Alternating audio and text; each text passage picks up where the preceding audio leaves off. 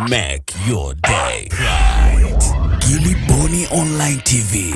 Kupata habari mpya na kwa haraka kila siku, usisahau kusubscribe kisha like na comment. Gilly Bonny Online TV. Serikali imefanya kazi kubwa. Nikiangalia kwenye jimbo langu, serikali imetuletea maji kutoka ziwa Victoria. Kata zaidi ya kumi na moja sasa zina maji. Tumepata VETA milioni bilioni mbili na upuuzi, tunajengewa VETA pale. Mheshimiwa Spika, kituo cha afya tulijengewa cha Igurubi, tuna daraja la Mbutu tulijengewa. Kwa kweli ni mambo mengi mazuri, wananchi wa Igunga wanashukuru. Kwa niaba yao naomba niseme serikali asante sana kwa kutufanyia haya mambo mazuri kabisa kabisa. Swala la umeme nisilisahau, bado nina kata tano tu ambazo hazijapata umeme. Naomba basi itakapofika wakati ziweze kupewa umeme. Kwa maana hii, naomba nishukuru sana serikali, nimshukuru rais pamoja na serikali yote kwa kazi hii nzuri. Bado tuna changamoto kidogo kidogo ambazo kwa kweli ndo wajibu wetu wabunge kusema, kama wabunge wengi walivyosema, na mimi naomba niseme hizi changamoto basi tuzifanyie utaratibu. Nianzie na janga hili ambalo liko pamoja nasi.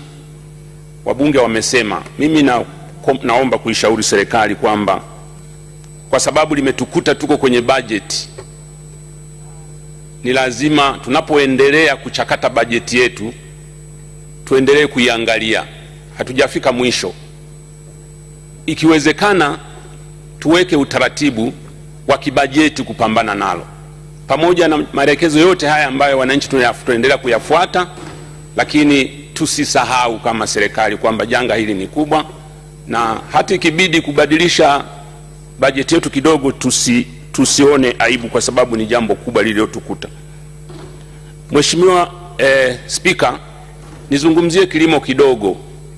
Sisi ni wakulima wa pamba kule Igunga, tunazalisha mbegu kwa ajili ya wakulima wa pamba wote Tanzania. Mwaka jana tumepata tabu sana ya kuuza zao la pamba na mpaka milioni mia mbili hazijapelekwa kwa wananchi.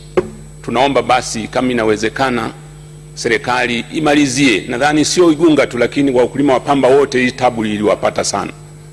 Tukumbukeni Mheshimiwa Waziri Mkuu, wananchi wetu wanakata tamaa kidogo, lakini mwaka huu nadhani nilizungumza na naibu waziri, kuna marekebisho kidogo kwenye jambo hilo. Mheshimiwa Spika, jambo jingine ambayo nipenda kusema ni madhara ya mvua ambayo imenyesha. Tunashukuru tumepata mvua na chakula ni kingi kama ulivyosema Mheshimiwa Spika. Tuna chakula kule kwetu kingi sana, mahindi na kadhalika. Sehemu chache ambazo zilikuwa za chini kule eh, maji yame- yamechukua mpunga na nini, lakini sehemu nyingi wamepata chakula, lakini imeleta madhara makubwa sana. Kwenye jimbo langu kuna barabara ambayo wanalalamika kila siku, tulipata fedha lakini wameshindwa kujenga kwa sababu e, mvua imenyesha kubwa. Nilikuwa naomba basi tuangalie kwa utaratibu ka kubadilisha, kuongeza bajeti kwenye hizo barabara kwa sababu zimekatika sana. Jambo la umeme, Mheshimiwa Spika, kama nilivyosema, wananchi wa Igunga wanashukuru sana. Kata bado tano tu, kata ya mtunguru kata ya Kinungu, kata ya Kininginila, kuna kata ya Mwamashiga, kata Isakamaliwa kata hizi bado hazijapata umeme hata kidogo. Mheshimiwa Waziri wa Nishati, tunaomba basi mtutazame kwa namna ya pekee. Jambo la mwisho kutoka mwisho, la pili kutoka mwisho ni suala la uwekezaji katika nchi yetu. Tunataka kwenda kwenye nchi ya viwanda, na Mheshimiwa Chegeni amesema kidogo kwamba tunahitaji sana tuhamasishe uwekezaji wa ndani na wa nje. Blueprint ile hebu tuitekeleze kama alivyosema Mheshimiwa Soni, ni muhimu sana, kwa sababu tusipofanya hivyo nchi ya viwanda tunaweza tusifikie, kwa sababu wawekezaji wengi wanakata tamaa, wengine wanaondoka, wengine wanaogopa kwa sababu ya matatizo ambayo yapo katika eh, kuendesha biashara na kuanzisha biashara katika nchi yetu imekuwa tabu sana. La mwisho, Mheshimiwa Spika, nizungumze kuhusu sekta ya madini ambayo kwa kweli naipongeza sana serikali. wamejitahidi, wamefanikiwa jambo moja kubwa ambalo sisi lilitushinda, la kuwapatia wachimbaji wadogo masoko. Serikali imefanikiwa sana na nawashukuru sana. Jambo moja dogo limebaki, kuhamasisha sekta ya uchimbaji mkubwa. Sekta ya uchimbaji mkubwa imekufa kwa sababu utafutaji umepotea kabisa, na utafutaji ndiyo injini ya kuleta migodi mingine. Nilikuwa naiomba serikali, namwomba waziri wa nishati na madini, tutazungumza kwenye wizara yake, ahamasishe utafutaji mkubwa wa madini kwa watafutaji wa ndani na wa nje, ili migodi iweze kuanzishwa ipo siku za usoni. Hii migodi iliyobaki minne hii mitatu ikifungwa, hatutakuwa na migodi tena, na migodi inaleta ajira kweli, inaleta zile effects za watu kusupply migodi kufanya kazi kule ni muhimu sana. Kuna nchi zinaoendeshwa na uchumi wa migodi, kwa na sisi tukihamasisha utafutaji tutakuwa na hali nzuri sana ya kuweza kupata uchumi kutoka katika madini yetu haya. Tumeweza kuya control, tumeweza kuhakikisha kwamba wachimbaji wadogo hawayatoroshi ovyo ovyo.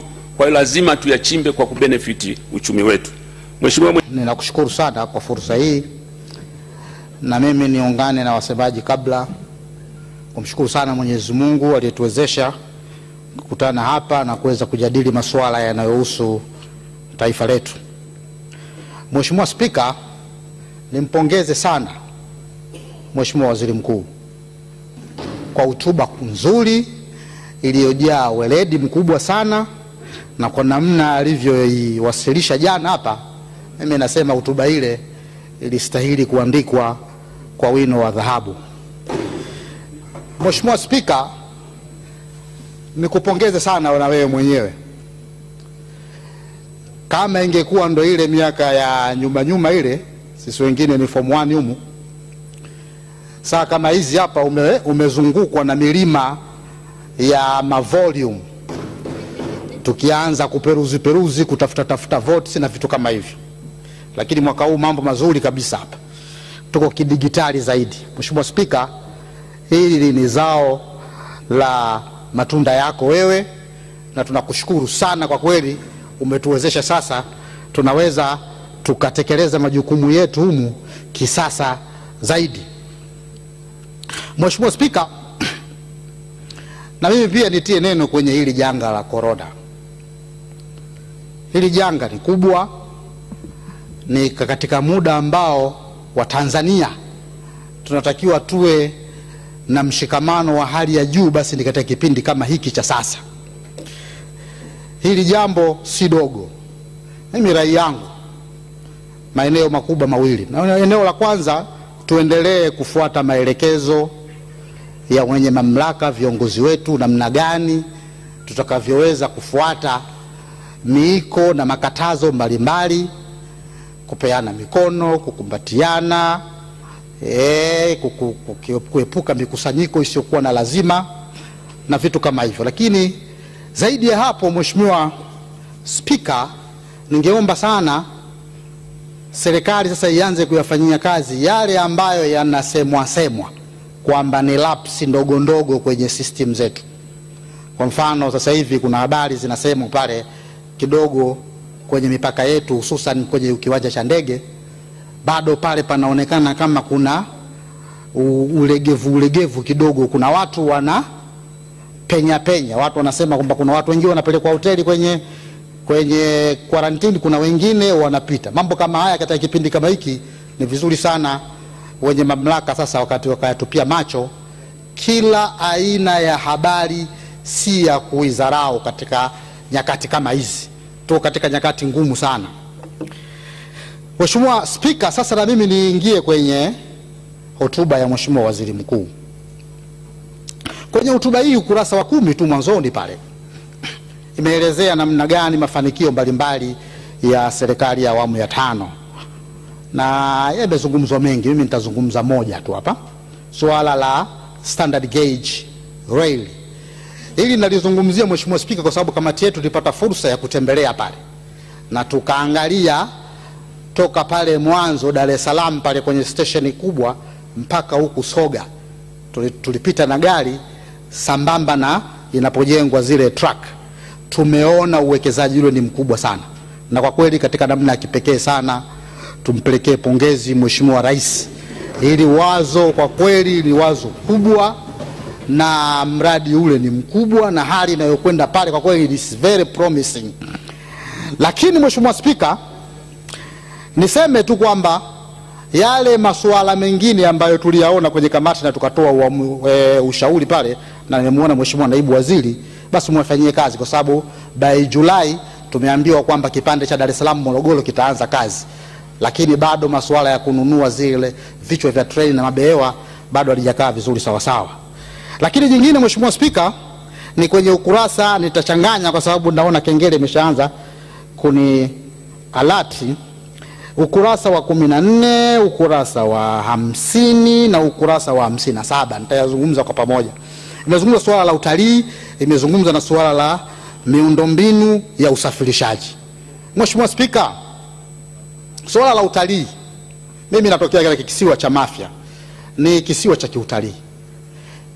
Sasa suala la utalii linakwenda sambamba na miundombinu yake. Pale tuna miundombinu e, mbalimbali ikiwemo ya gati ikiwemo pamoja na ya kivuko kile cha Nyamisati. Naishukuru sana serikali, gati lile limekamilika na kivuko kinajengwa kile.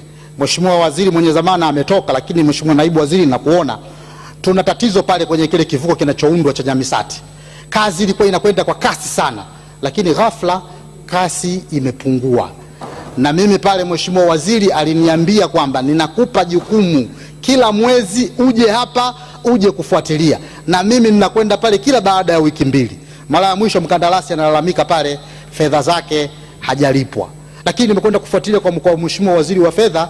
Waziri wa Fedha tayari fedha zile ameshazitoa, ziko Wizara ya e, Ujenzi, Mawasiliano na Uchukuzi. Kwa hiyo nilikuwa naomba muharakishe tu kumlipa yule mkandarasi ili amalizie kile kivuko, tuwe tuwe ndani ya muda na tuweze kusonga mbele. Mheshimiwa Mwenyekiti, Mheshimiwa Spika, kwa haraka haraka kule Mafia tuna barabara barabara inayotoka pale kiwanja cha ndege pale Kilindoni kwenda mpaka Rasimkumbi ambayo ni kama kilomita 55. Barabara ile imo ndani ya ahadi ya, ya, ya, ya, ya CCM na ni ahadi pia za rais mstaafu.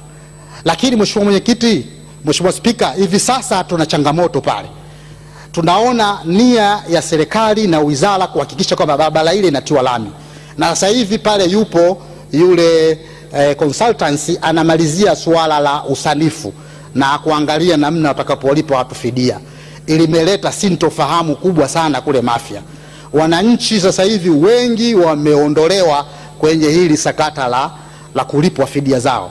Mheshimiwa Spika na Mheshimiwa Naibu Waziri, sio kwa kiburi wala jeuri. Tunachosema kwamba tuko tayari sisi Mafia barabara hii ichelewe kwanza, lakini masuala ya malipo ya wananchi hawa yazingatiwe, kwa sababu mimi nina uzoefu barabara ambayo nimeirithi kutoka kwa mwenzangu ambaye ilijengwa kwa lami mpaka leo ofisini kwangu kuna mafaili na mafaili yanayo yanayo madai mbalimbali ya wananchi ambao fidia zao walikuwa hawajapata.